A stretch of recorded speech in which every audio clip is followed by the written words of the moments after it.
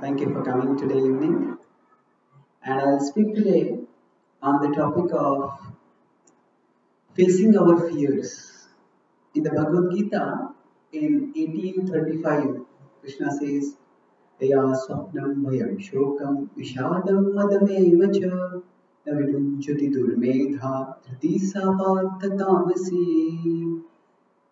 that when the mind is affected by ignorance, one of the results of that is fear, bhayam. Yeah, swapnam, bhayam, shokam. There's daydreaming the things will be so wonderful, or there can be nightmarish fantasies. Oh, things will be so dreadful. So both characterize a mind which is affected by ignorance.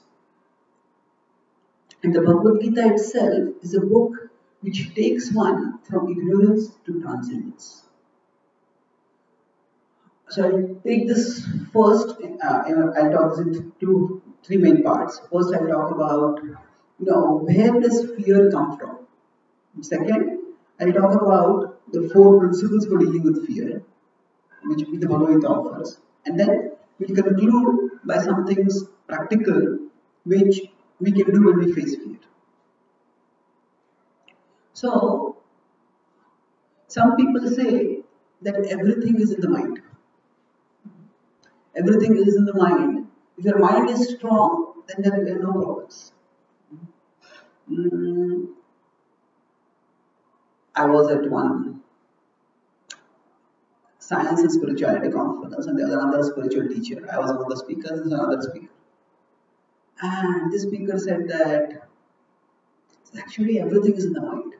If you make your mind strong, you will not have any problems. So for the last 25 years, every day I smoke. He's supposed to be spiritual teacher. So every day I smoke and I have no lung problems at all. Why? Because the mind is strong. and he gave that speech and I think after six months or something he got lung cancer and he died within six months after that. So there are three levels of reality. There is physical reality, there is mental reality, and there is spiritual reality. So to say that everything is in the mind is to deny physical reality. So, for example, if a car is racing toward us, will feel fear. But that fear is not just in the mind. That fear is caused by something which is out there, which is uh, invoking that reaction to this. Now, of course, for some people, fear may make them run away and they save their lives. But some people, fear may petrify them. Petrify means it comes with the petrious. Petrious is the adjective for stones. Petrify means to make like a stone. This becomes frozen, and then that fear prevents a healthy reaction, which is running away. So there are situations when fear is not only desirable, it is essential. Because the world has real dangers in it. And our body is designed in such a way that when there is a danger, say if you look down from a 100 uh, story, 100 level building, you feel little fear. That's good, that keeps us safe. So, first thing is that fear itself is not always undesirable. Legal or undesirable is at times essential. So then we could say fear comes from the physical reality. When it comes from the physical reality, at that time it is desirable. But not all our fears come from physical reality alone.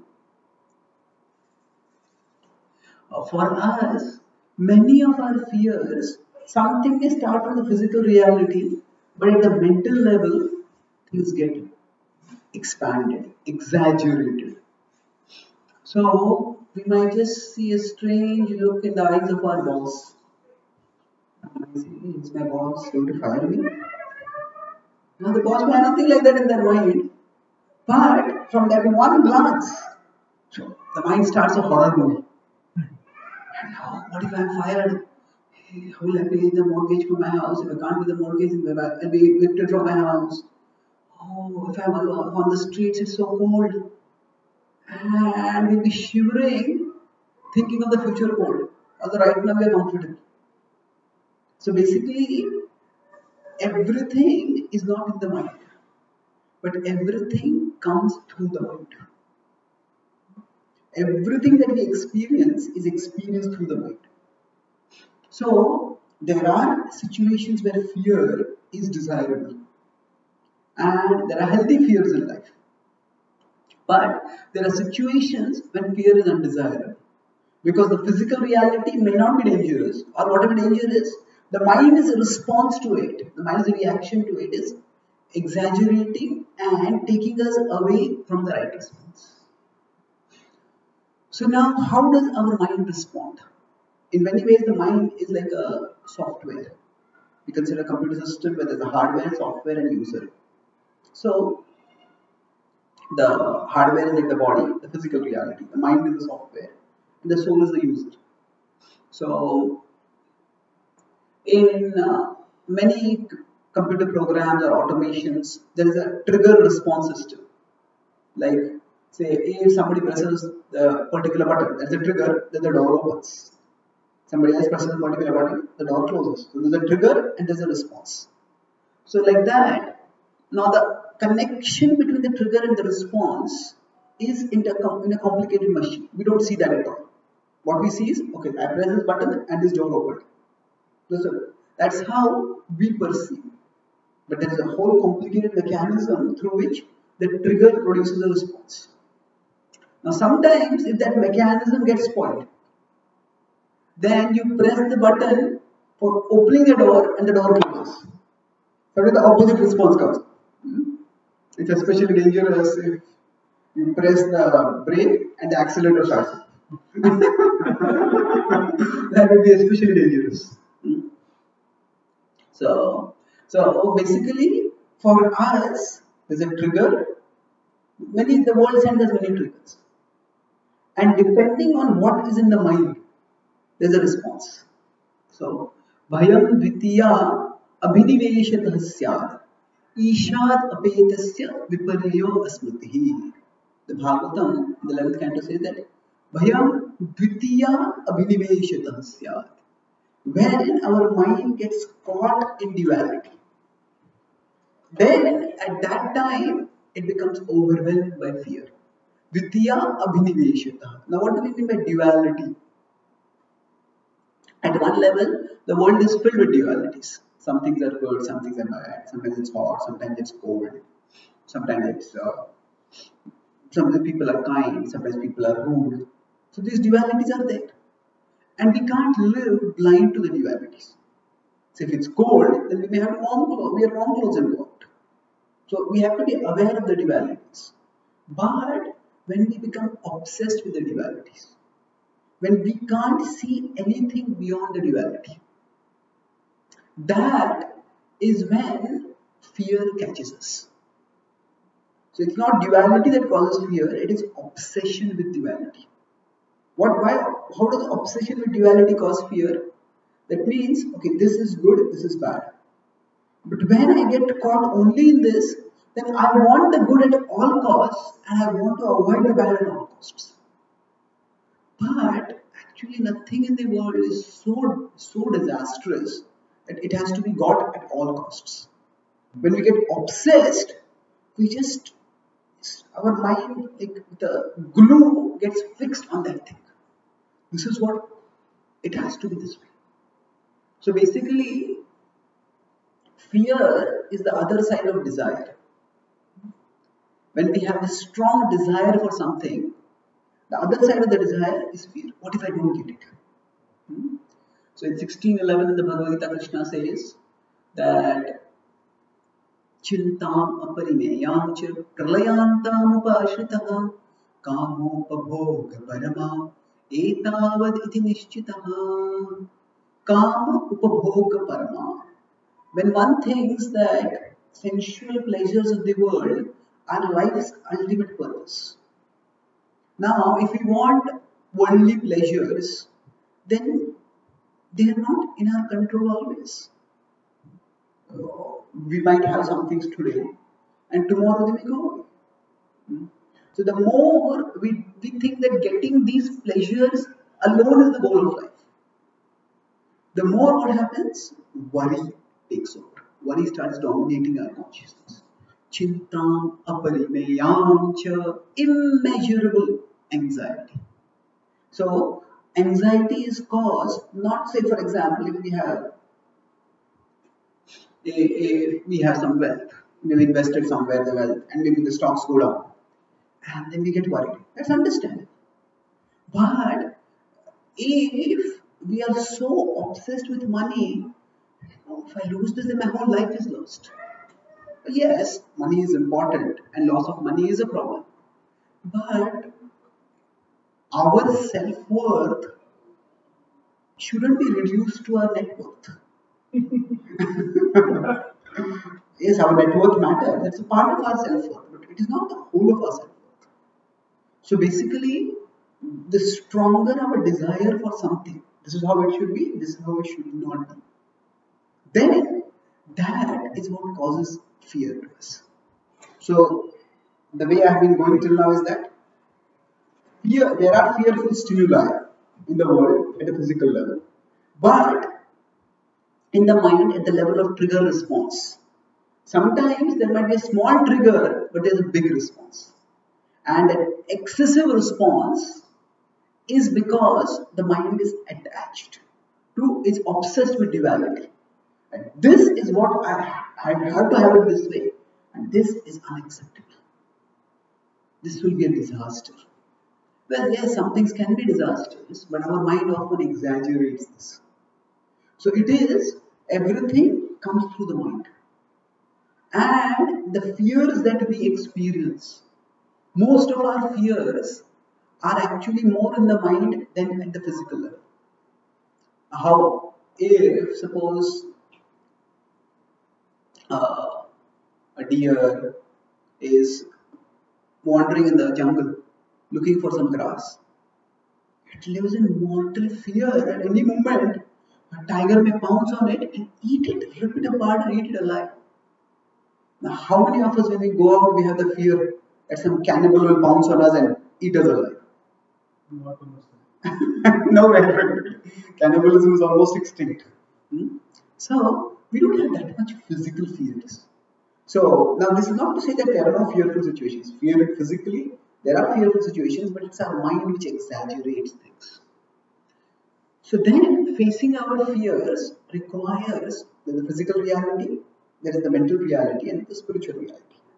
So, so how do we face our fears? It is by positioning ourselves properly. I'll explain what I mean by positioning ourselves properly. That our consciousness can sometimes be only at the physical level. Mm -hmm. Say, for example, if we are eating something very delicious, or we are having a very painful injury. Our whole consciousness is caught at the physical level.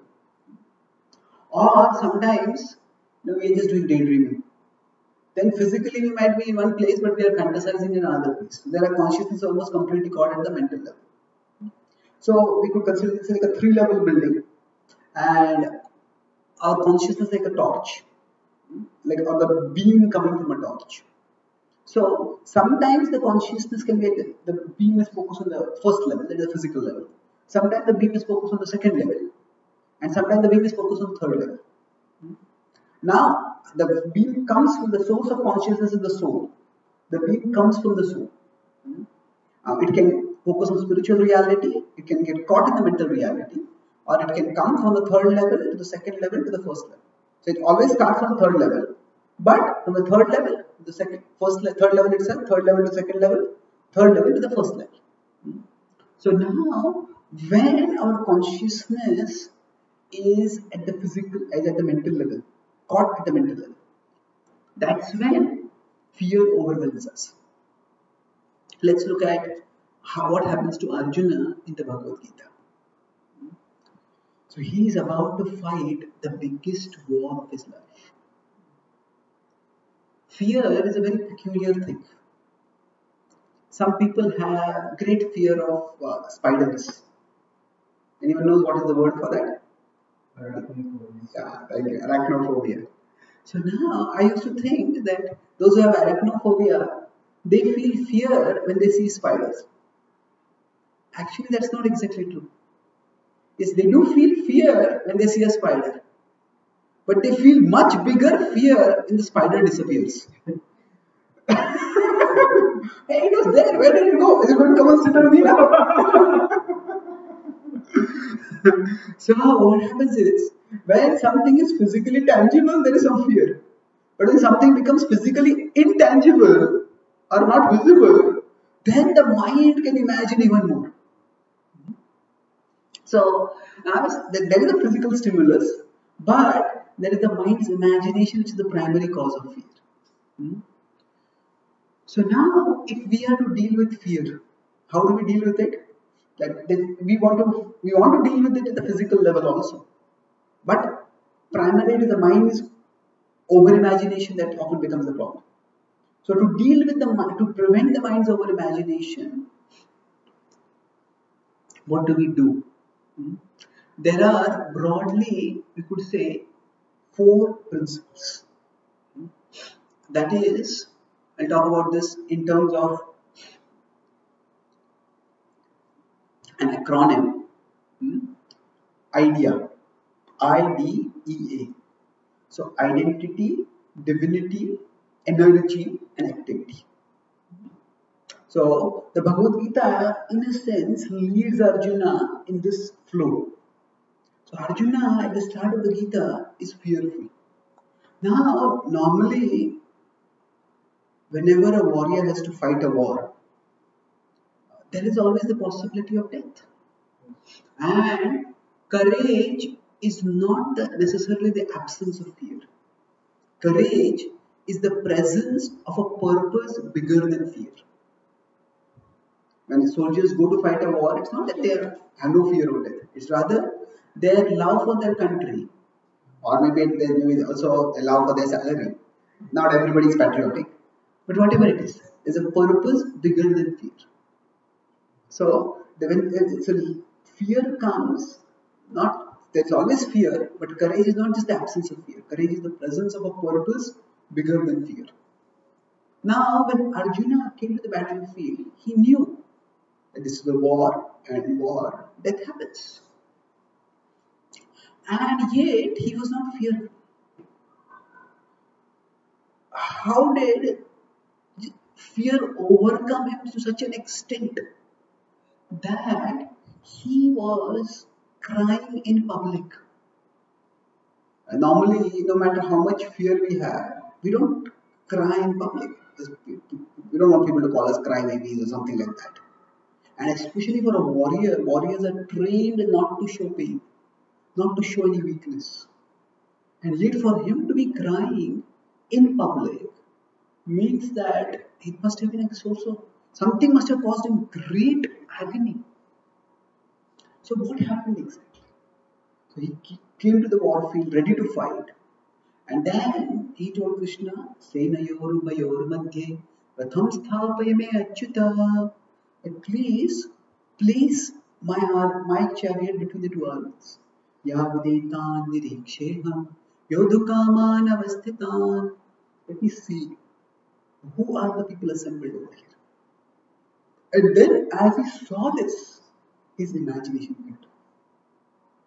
His imagination was not only all the great warriors over here will be killed, but when the warriors are killed, at that time, the whole dynasty will be destroyed. Generally, whenever in society the protectors are destroyed, then there are always predators. So the predators will exploit the women, and then all kinds of disasters will fall befall the society. So he, started thinking about all this and he became overwhelmed. And then he just said, I can't fight. So earlier I talked about being petrified. Arjuna became petrified. His bow slipped, almost started slipping out from his hand. He sat down, I can't fight. So it's interesting that normally speaking, uh, the normal convention is that a warrior, when the warrior is about to fight a war, the warrior doesn't show any fear. Arjuna was completely fearful. So what did Krishna do? Krishna started by first things first. Said, You are afraid of death. You are afraid that they will be killed. Arjuna was not so much afraid that he will be killed. As a warrior, he was he always lived in the shadow of death. Hmm? But his fear was that everybody would be killed. Society itself would be devastated. So then he says, begins with I. I is identity. Identity is, he tells that whatever you are perceiving as a danger, there's a physical stimulus and there's a mental reaction. And then you think that the physical, everything will be destroyed. But even if everything is destroyed, you will not be destroyed Because you are an indestructible soul. Avinashi tu tadviddi yena sarvamidam tatam. Avinashi, the soul is indestructible. And the mind can imagine all horrific ways in which the weapons might kill someone. Stuff is, none of those weapons can even scratch the soul. नैनं छिन्नति शस्त्राणि नैनं दहति पावकः न चैनं क्लेदयन्त्यापो Vishwamshveti Marutaha. That uh, the soul cannot be pierced, the soul cannot be burned, the soul cannot be withered, the soul cannot be evaporated. It cannot be damaged in any way at all.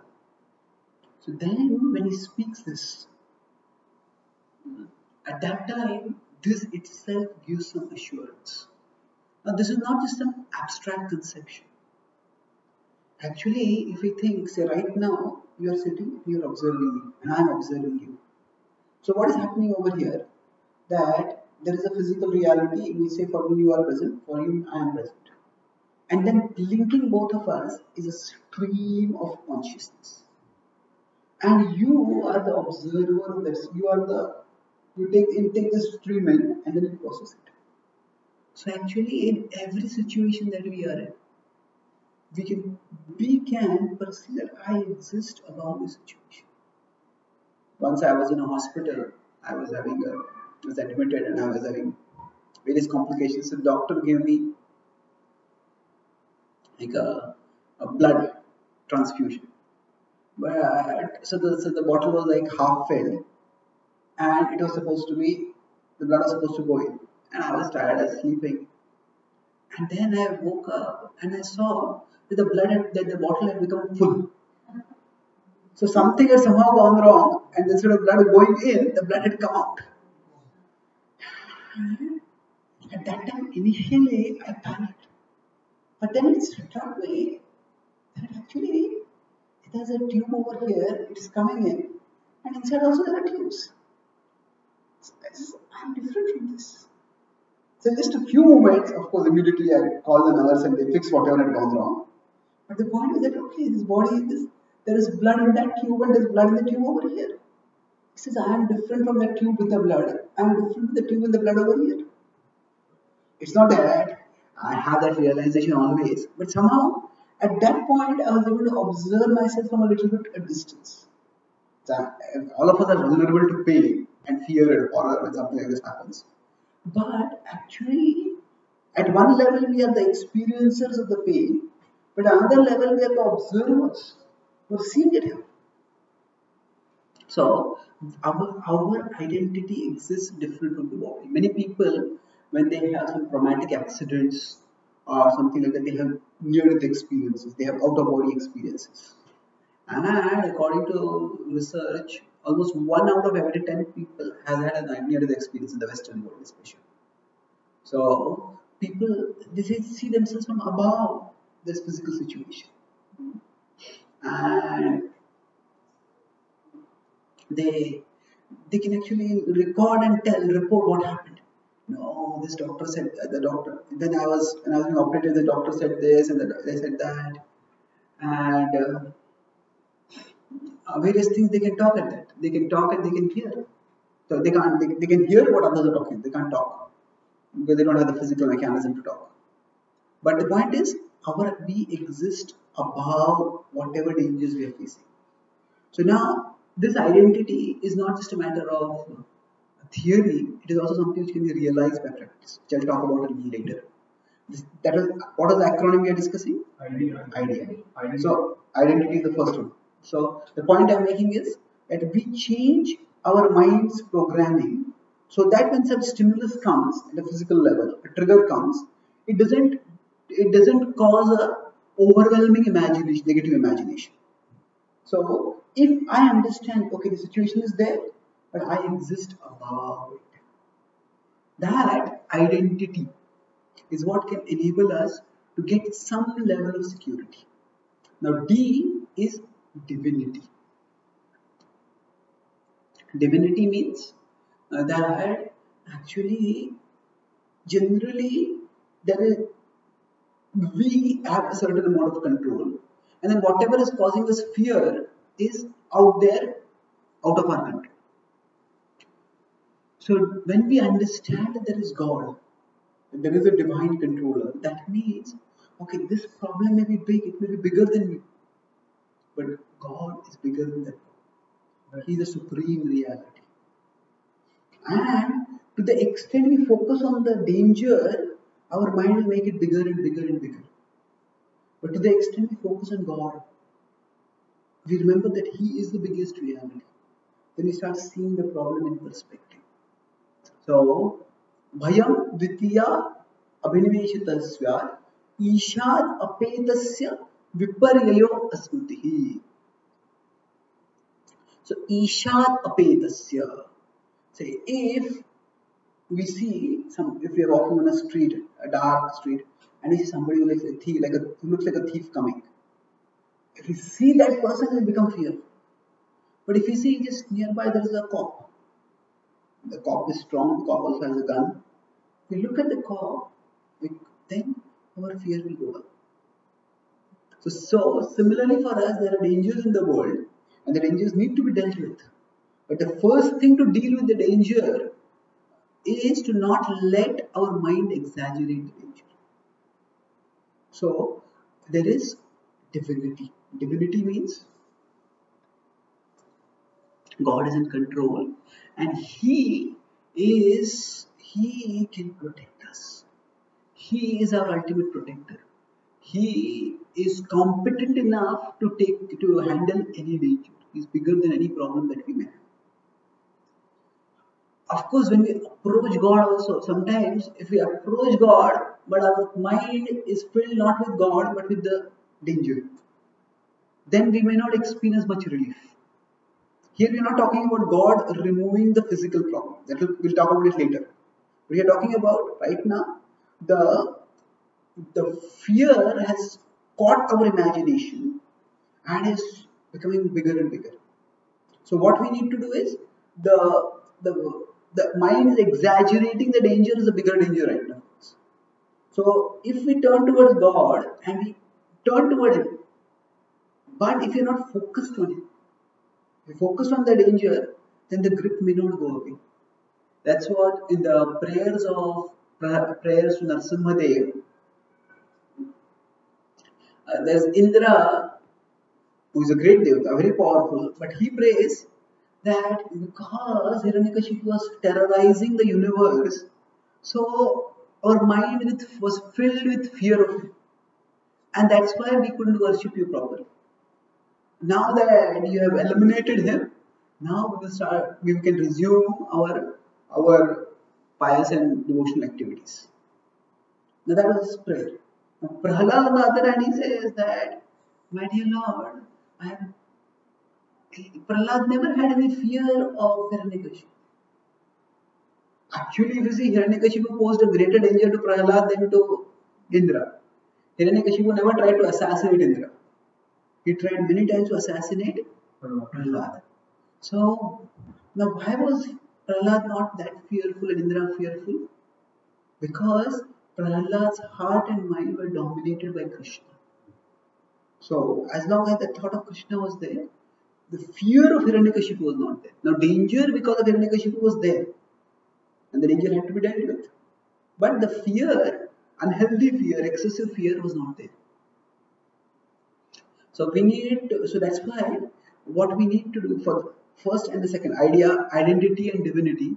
And for our identity, we need to study the philosophy regularly to remind ourselves that I'm a soul. And for for remembering the divinity, for connecting with the divinity, we need to practice Bhakti Yoga. Bhakti yoga is not just some ritual, rituals like chant some mantras or do some puja.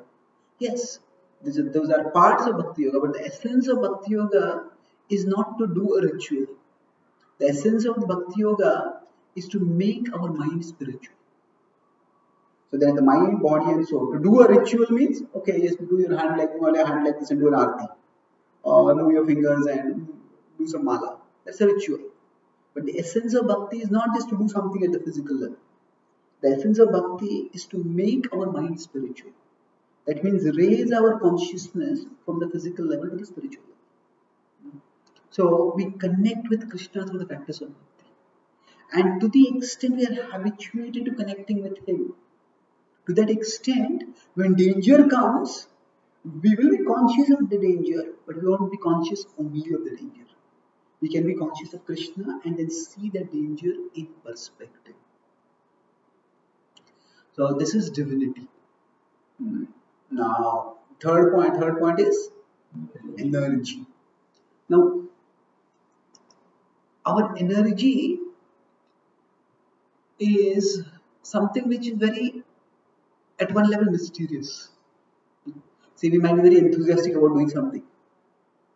And if somebody speaks one discouraging word, all our enthusiasm might be like a bubble like like a balloon, one prick, just. So now at a physical level, nothing has happened. We might still have eaten food and have energy. So this this energy is is somewhat mysterious. So actually, the energy that we have is a combination of the physical and the spiritual. It's just like if you have if you have to move a car. Now, for moving the car, the fuel has to be there in the car, no doubt. Without fuel, the car can't move. But if the driver is depressed, if the driver is petrified, then no matter how much fuel is there in the car, the car will not. The car has its physical mechanism and it needs fuel as a part of the physical mechanism. But the driver is the source of the energy, source of the motion of the car. We could say that similarly, we have a physical component to our energy. And sometimes we might be physically very exhausted. But often when we feel depressed, depressed people are not physically exhausted. Actually, sometimes depressed people, they often are so inactive that they get exhausted at being exhausted. yeah, sometimes sometimes people just uh, they get so depressed they don't even get out of their bed. I feel like telling them, you know, you are not sick. Your bed is sick of you.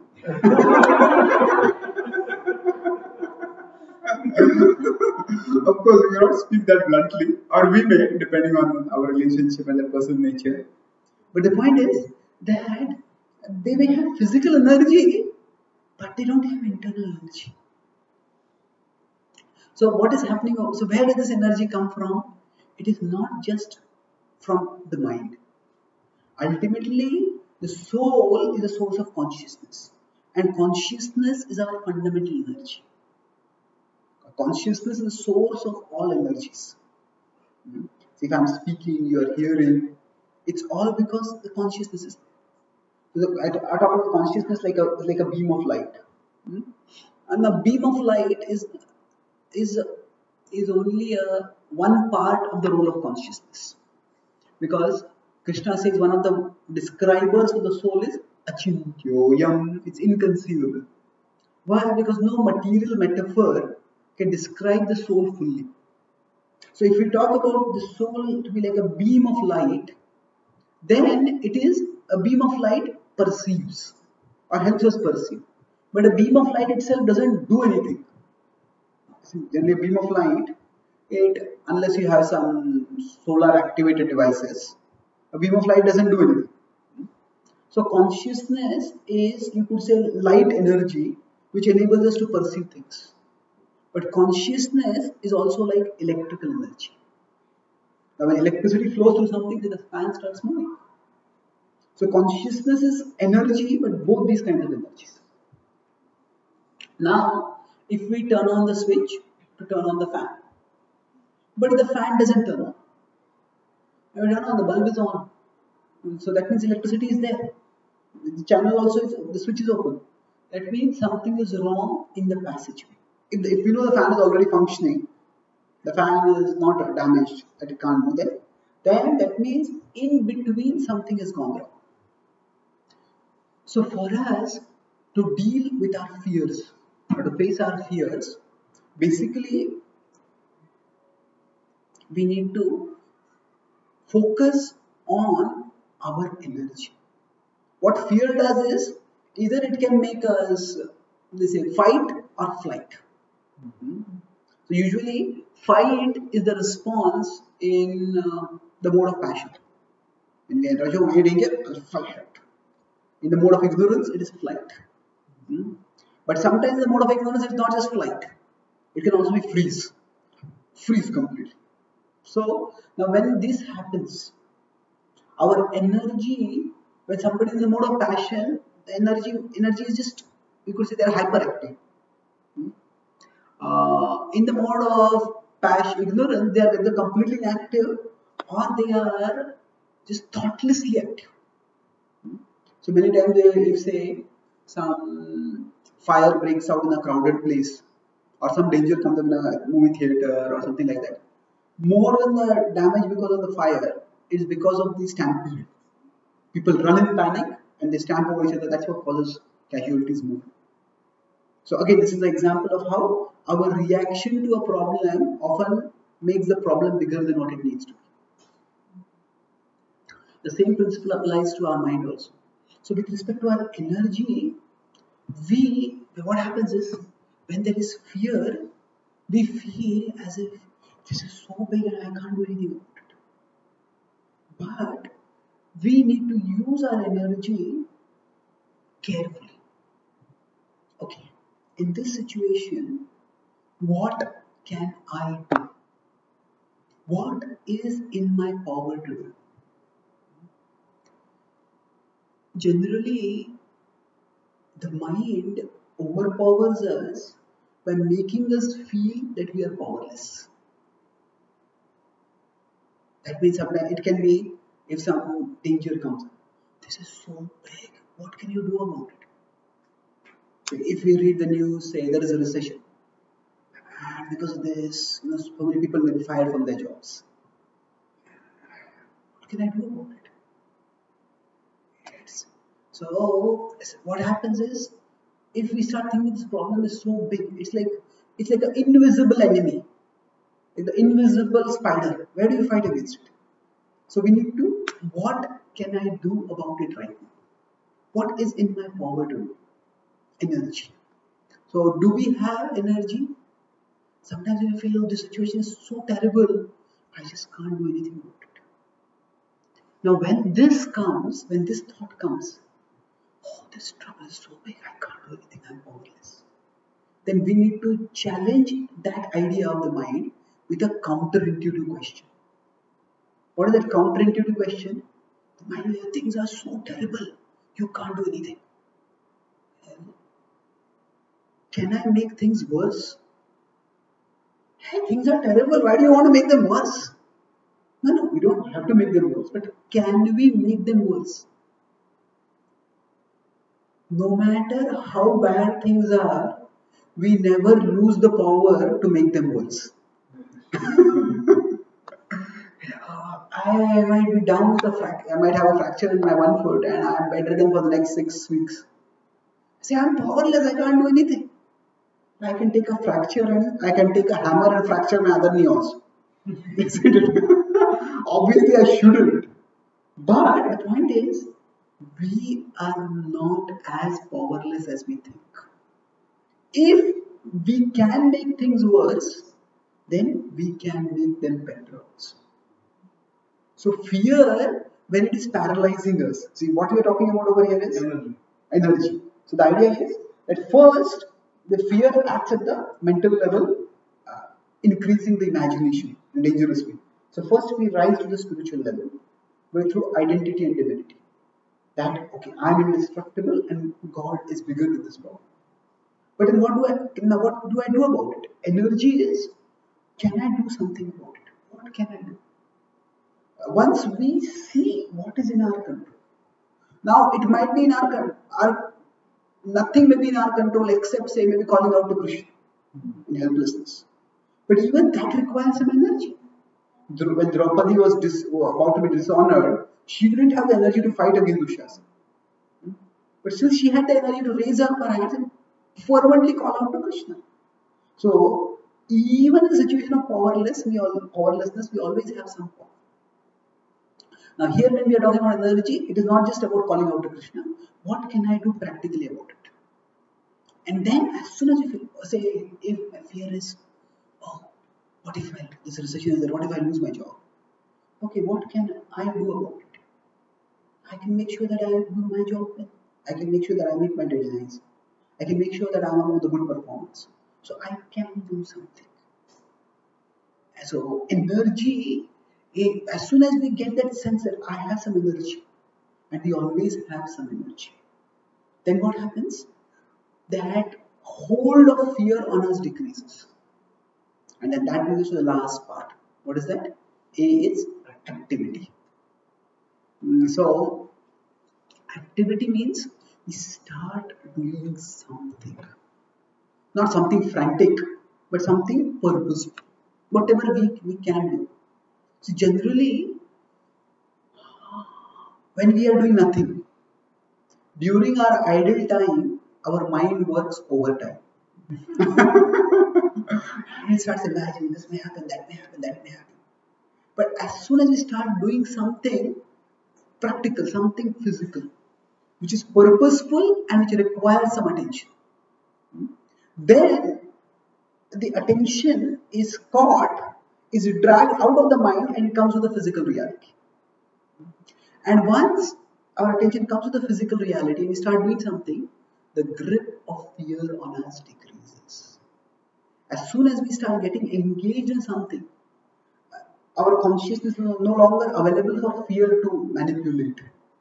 It's no longer there so much caught in the mind. So that's why one so, so that means we get out of the mind, first we get to the soul. And then you may say, I just can't stay at the level of the soul. I have to do something practical. Yes. Look at what energy you have and start doing those things. So, for example, some people have say claustrophobia. So that's the last part now. Well, I talk about how you could apply this practically. So generally, the way to face a fear is to, to expose the mind's lie about the fear. so expose the mind's lie means some people they are like uh, they are paranoid about being in closed places. They just can't enter a lift. Say like uh, elevator is like a nightmare for them. So now I will tell them just the sight of the elevator. I can't enter the elevator. Okay, you can't enter the elevator. Mm, can you walk five more steps towards the elevator? Uh, you will be next to me? Yeah, I'll be right next to you. Okay, walk five steps near the elevator. And they walk five steps near and they say, hey, hey, nothing happened. I say, that's all I can do. Okay, that's all. Today, that's all I can do. Then tomorrow, take five more steps near the elevator. Hmm? And then gradually just move closer and closer and closer. Just the small things. And then eventually, say, come right to the door of the elevator. Can you enter the elevator? No, I can't. Can, you close your eyes and enter the elevator? Hmm. Ah, okay. But will you be with me? Yeah, I'll be with you. You close your eyes, enter the elevator, maybe go one step up and come out. Hey, nothing happened. So when we use our energy to do some activity, whatever it is that is causing us fear, okay, what can I do? The mind may say you can do nothing. But then, okay, can I do some small thing? Yes, I can do this. Once we start doing that, gradually we start countering the fear. So it's not that the so this is I could say these phobias are more like there is irrational, there is no actual danger. But for them the danger is actual. They actually feel great fear over there. Maybe say this all in the mind and you can deal with it like this. But But what if there is actual danger? Even there also this approach works. Even if there is physical danger, say somebody wants to drive a car and they're very afraid of driving the car. Somebody wants to swim and they're very afraid of swimming. The way to deal with it is just do small, small things. So, okay, you can't drive a car, but can you just sit in the driver's seat? Okay, I can sit there. And then I'll sit next to you. Can you move? A little bit I can move. So whatever our fears are, just you what energy do you have and what activity you can do. And if you focus on those, then even great fears can be dealt with. So fear exists. Fear, fear, fearful things exist in the world, but fear controls us by controlling our mind. And if we can get our consciousness out of our mind, then we can get out of the control of fear. And that's how Krishna says, Machittaha sarvadurgani. So Krishna tells Arjuna that if you become conscious of me, you will pass over all obstacles by my grace. So Krishna tells Arjuna that don't think that you are killing these people. There is a governing divinity in the world, and those people on the opposite side they have done such terrible karma that they are killed by their own misdeeds. If you don't become an instrument, somebody else will be they will be killed in some other way. So Krishna first raises his level to the consciousness to the level of identity. That you are a soul. Then there is a supreme soul who is in control. That is his plan which is working. And then Krishna tells Arjuna, use the energy that you have in service of the divine. You are small, you cannot change the whole nature of the way things are going. But you can use your energy in a way that is constructive. And then do your. So that same Arjuna who was so fearful that he had put aside his bow, by the end of the Bhagavad Gita, he picks up his bow. Yatra Yogeshwara Krishna, Yatra Partho Dhanudhara. He picks up his bow in readiness to fight. And similarly, the world's perceptions can overwhelm us with fear, and we also put aside our metaphorical bow. We lose our determination, our enthusiasm, our confidence to engage with the world. But then, by hearing the Gita's wisdom, we all can regain our enthusiasm, regain our determination, regain our confidence, and march forward in life. So, I'll summarize what I spoke today. I spoke on this theme of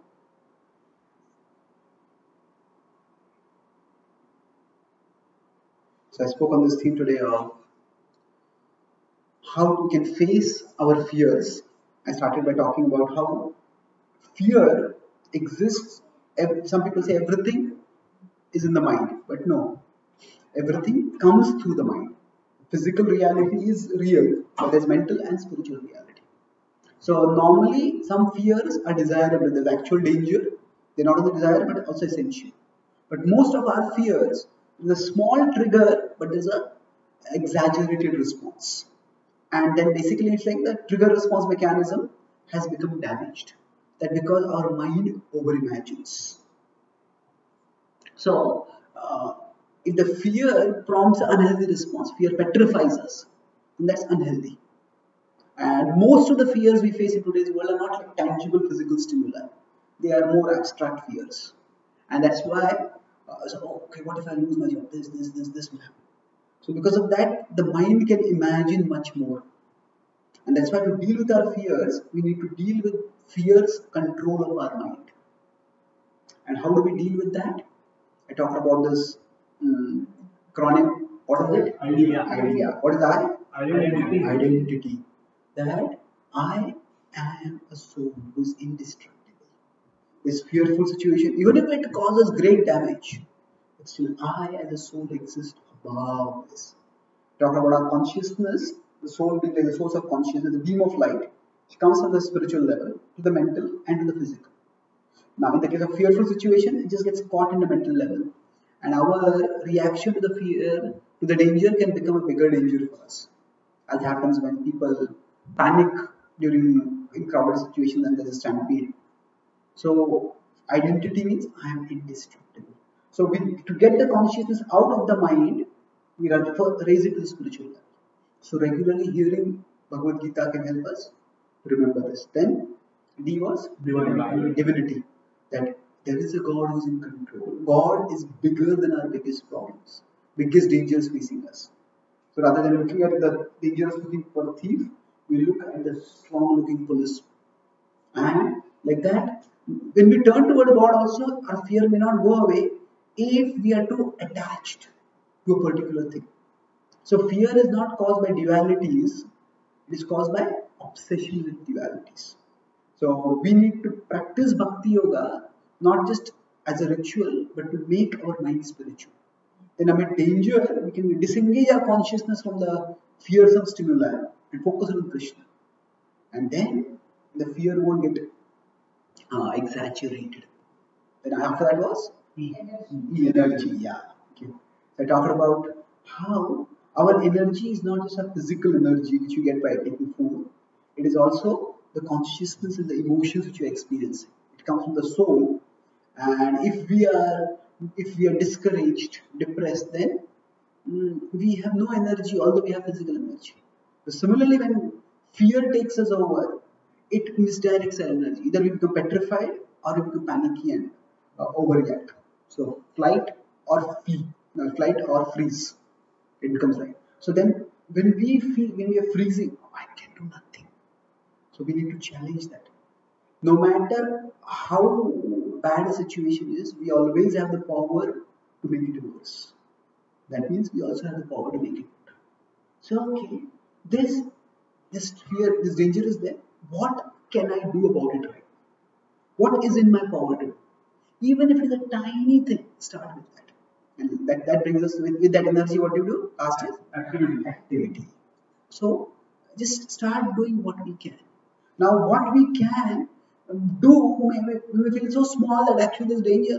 You know, I just work better at my job, the resistance is not going to go away. Okay, that's true.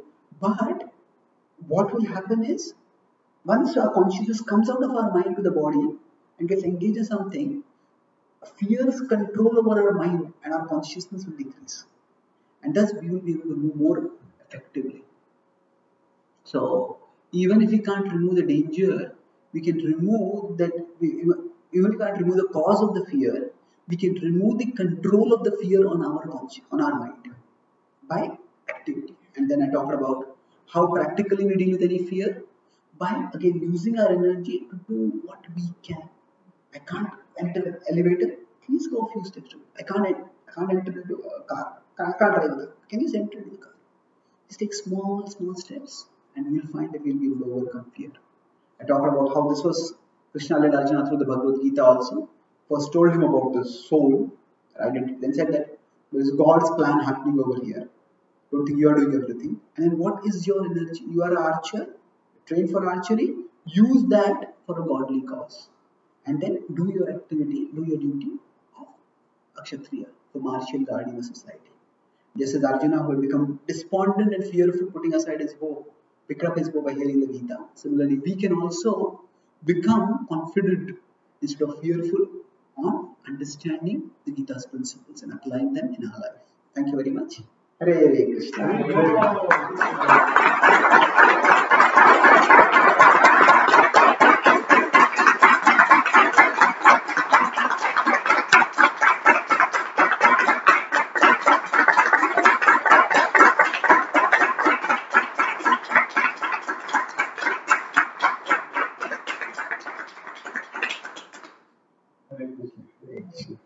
Wonderful class. no? Uh, any questions? Or... Any questions? What you said that consciousness is the source of spiritual energy. Yes. So I wanted to ask uh, our acharyas like Bhaktivinoda Thakur and everyone who had a very tight schedule where they used to sleep for three hours, two hours, and wake up at two o'clock in the morning and go through their sadhana, their current, like their jobs and family duties and back to reading. Is was the source of their uh, the consciousness? Because it seems impossible to sleep for two hours in a day and have to go through the schedule which they have. So Okay. was, Mhm. is it their consciousness that was giving them the spiritual um, energy? Yes. Great acharyas who slept very less and did so much for Krishna, was it their consciousness? Yes, definitely it was their consciousness. But mm,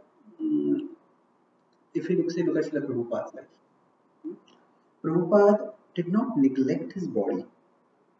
He did take care of it. He might, he might have slept less, but every day he would have massage. And he would- not be like hurrying to do the massage. He would take his time in that. And he would also Morning walks. he would go morning walks regularly. So every person's body is different. Now some some people's body may have greater capacity for austerity. Some people's body may not have that much capacity for austerity. So that's one aspect to it. So uh, now we could say that Prabhupada, mm, Prabhupada introduced a Krishna culture, which also involved cooking. So Prabhupada would, uh, the- one Prabhupada disciple said, we were delighted to discover that Swamiji's knowledge of recipes was as vast as his knowledge of verses. so, knowledge of the verses was impressive, knowledge of the recipe was delicious. so, the Prabhupada would cook nicely, Prabhupada would eat whenever the resources that Prabhupada would eat, eat nice, nice food, the things which Prabhupada liked and he would take them. But then he was dedicated to the service of Krishna. Bhakti Thakur would on the other hand eat very simply. You know, he would actually, many times he would just mix all the food together. He said, I don't, I, don't want my tongue to taste as gratification. So Prabhupada would, Prabhupada would not even mix rice uh, and dal. He would say, I want to taste each separately. Each is Krishna and this is not Krishna. So the point is that each acharya may serve in their own way. So each body is different, and we don't work for the body, we don't work against the body. We work with the body. Hmm? Work for the body means any and every desire that comes up, we just pander to that desire. So, Prabhupada, when he came from India to America, he just had a few vegetables and some grains with him. He didn't even know whether vegetarian food would be available in America. So he came and was ready to live with whatever food was available. So he doesn't live for the body, but we don't live against the body. That means our purpose is not to torture our body. Say, if I, as soon as I, I, I get cold, I expose myself to cold water, I get a cold. Then I don't deliberately go and take a bath in cold water. That will just make me dysfunction. So we don't work for the body, but we don't work against the body. We work with the body. So this is one way which is practical for us to understand that their bodies had the capacity to perform that austerity. But that is not the, that, is, that is the way we can look at so that we don't artificially imitate and make trouble for ourselves. So, but yes, there is also, the, as you rightly pointed out, a principle of spiritual energy that uh, when the consciousness is focused on doing something which is very, very important for us, That all our energies get channeled in that. And just like a car, the, fuel meter might show down, down, down, but always has some reserve energy. So, like that, we also have reserve energy. But often, unless we are very motivated and inspired and driven to do something, we often don't tap that reserve energy. So, in the case of great acharyas, because they were so devoted to Krishna, so even when the body was almost like running empty, they would be driven driving into Krishna. So, in some cases, the spiritual can even transcend the material. Mm. But usually, it is the spiritual works through the material. That means on some occasions, Prabhupada was once he was so sick, but when one cabinet minister had come to meet him. So Prabhupada was so sick that he couldn't even apply tilak. And his hand was trembling, so somebody else applied tilak. But when they came to when he came to meet, Prabhupada got up and blessed him and sat and had lunch with him and talked with him. And after that minister departed, Prabhupada just collapsed in the chair. That was spiritual energy itself. Sometimes the spiritual can manifest in spite of the material. But in normal ways, the spiritual manifests through the material. That's why toward the end of his life, when his body broke down practically, Prabhupada spent a lot of time in Vrindavan. And he didn't do much physical activity, but he had devotees around him here and read about Krishna and sing about Krishna. So we, as in we, we don't limit ourselves to the body. We don't understand the soul is different from the body, but the soul is currently working through the body, so we can't completely neglect the body also. Other questions? I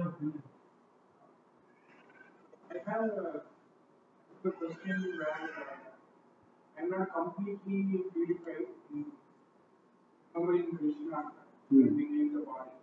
How to deal with the fear when at the time when we are leaving the body and you know that uh, uh, you have not completely remembering at a stage where you are remembering How to deal with that Yeah, how do you figure of that we are not completely remember Krishna and death? Are two different things. You know, generally, at the time of death, there are multiple fears. One is about the past, or three fears, you could about the past, about the present, about the future. About the past is everything that we have worked for, we are going to lose it. At the present, the body is breaking down, we're having all kinds of pain. And the future, where we are going to go. Broadly, these are the fears that everyone has. Now, if we have practiced the bhakti diligently, the fear of the past, losing the past, is not so much there. Yes, we have loved ones and we have done things in the world. It is, it is, it is sad to go from there. It does some amount of pain, but we have developed a higher attachment. So now the body getting broken down, that's that's of course painful. But to, again, if you develop some spiritual detachment, spiritual knowledge, then yes, this body is a machine, it's going to break down. We don't think I'm going to get destroyed. Now, as far as the future is concerned, even if suppose we don't go to Krishna, hmm, but we will go closer to Krishna. If we have practiced bhakti in this life, then Krishna will take us to a place where we can continue the practice of bhakti. If we consider that we are souls who have been through so many lifetimes in the past, and maybe in the past we had practically no inclination to turn toward Krishna. Maybe we had no knowledge of Krishna also. But still, through all those lifetimes, Krishna has guided us. And we've gone through it. So when we had no inclination toward Krishna, at that time Krishna guided us through. Now we are trying to serve Him, why will He not guide us? So we have uh, that uh, understanding that if we are moving toward Krishna, Krishna will take that opportunity away from us. Maybe circumstantially we are born somewhere where the opportunity may not be immediately available, but it will become manifest. So in general, uh, it's best to focus on doing our part. If we do our part, Krishna will take care of his part. okay.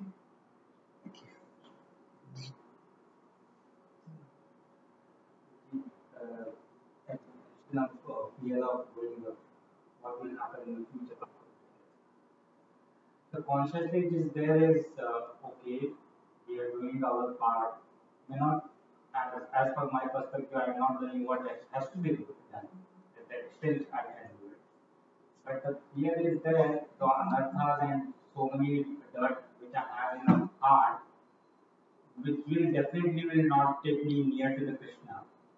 But the next line, at least heard from the all the scriptures, I may fall down in path also because of pride or the, the I was just hearing uh, the, the Gorilla's story. He was served to the Ram and in uh, Krishna time he was addressed to Balram.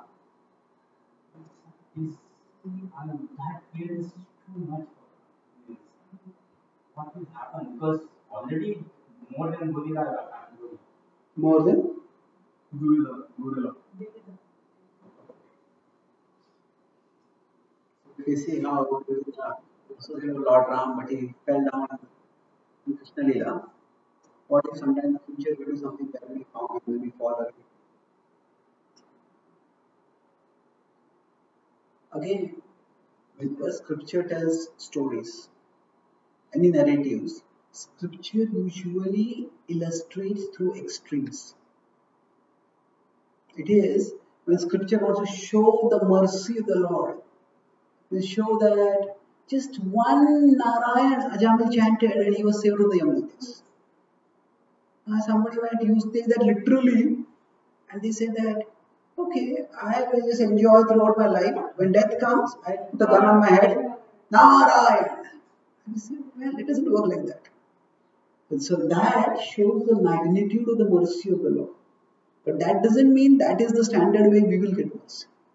So an extreme example of mercy should inspire us to commit ourselves more to the standard process of mercy, standard process for gaining mercy. So just as there may be extreme positive examples of mercy, there can also be extreme negative examples of danger. Extreme negative Examples of danger, danger. So, so Jad Bharat, Bharat Maharaj getting attached to a deer. That's an extreme example.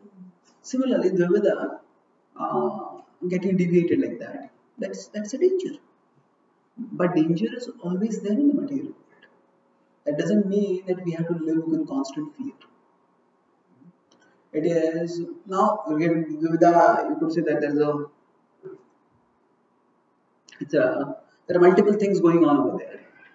There is primarily the point that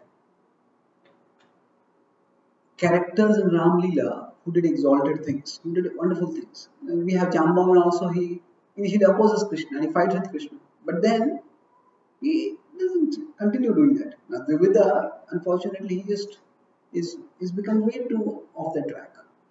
So now there also, if you see the Krishna was because of association. Because he associ- association. He associated with demoniac people like Banasura, and that's how he got contaminated. So it, it is, see, fall, if, if somebody deviates or falls down on the spiritual path, it is not by chance or accidental. It is the first slip that might be by chance or accident. Like Ajamil saw something, and that was an accident. But after that, Ajamil dwelt on it. And then when he called that um, prostitute to his home and he rejected his wife, he rejected his parents, at that time, it was not that it was just one fall, it was a series of actions. So, uh, and that time probably, maybe his parents, his elders, he was a Brahmana, so others must have counseled him, others have chastised him, but he neglected it all. So it's not, it doesn't happen by chance. By chance, some danger may come in our life, and we may, we may fall, we may slip, we may fall. So the first mistake may happen by chance. The second mistake could also by chance. But when, we, when the repetition happens, it's not just by chance or accident. It's a, it's a, it's our own misuse of free. So what can we do how to prepare for that? See, if we use our free will properly right now, then that also creates impressions in our mind. That also becomes a habit. And if we have cultivated a healthy habit, then even if in the future some temptation comes for us, if we, our habit will protect us. So it's like if right now we make a habit of always valuing the association of devotees, then that habit will carry over with us to a future life also. And even if, say, we have the association of people who are opposed to devotion, then we will keep a distance from them. And we will seek the association of spiritually minded people. So if we do what we can, Krishna will do what we can't.